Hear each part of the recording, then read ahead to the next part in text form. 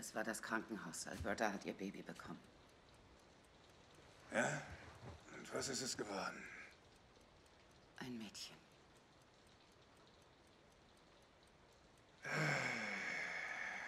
Dann. Dann gehe ich besser hin und sehe nachher. Troy. Ich muss nachher sehen, Rose. Das gehört sich so.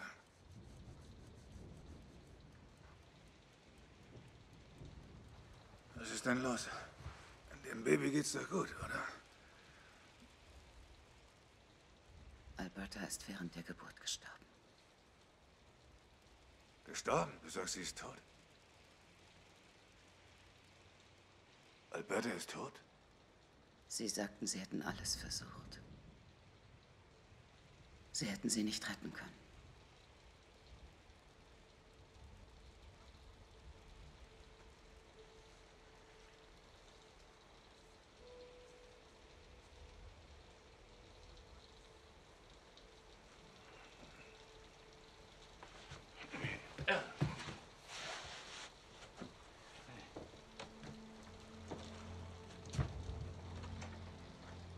Ja,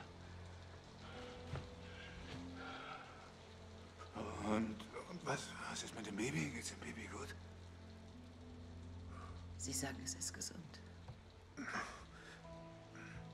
Wer wird sie denn jetzt beerdigen? Sie hat eine Familie, Rose. Sie war nicht ganz alleine auf der Welt. Ich weiß, dass sie nicht ganz allein auf der Welt war. Als nächstes willst du wissen, ob sie Du versichert musst nicht war. so mit mir Das reden. kommt als erstes aus deinem Mund. Wer wird sie beerdigen? Als hätte ich vor, diese Aufgabe zu übernehmen. Ich bin deine Frau, weiß mich nicht so zu. Ich weise niemanden zurück. Gib mir einfach etwas Platz. Gib mir ein bisschen Raum zum Atmen.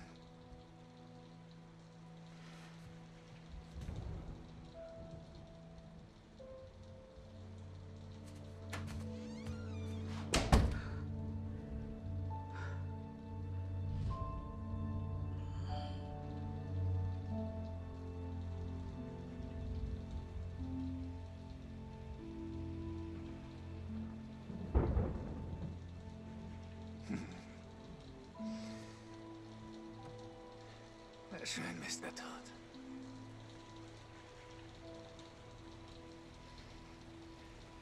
Ich sag dir, was ich mache. Gleich morgen früh werde ich einen Zaun um meinen Garten bauen, hörst du? Ich werde einen Zaun um das bauen, was mir gehört. Und dann will ich, dass du auf der anderen Seite bleibst. Und du wirst dort bleiben, bis du bereit bist, mich zu holen. Bring deine Armee mit, bring deine Sense mit, bring deinen Ringeranzug mit. Dieses Mal werde ich nicht unvorbereitet sein. Du wirst dich nicht...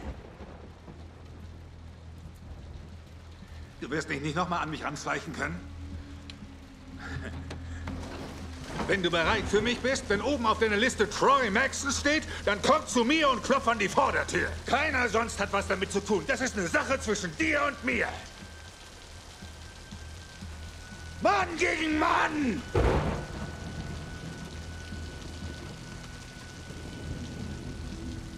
Du bleibst auf der anderen Seite des Zauns, bis du bereit für mich bist. Dann kommst du zu mir und klopfst an die Vordertür. Und zwar wann immer du willst.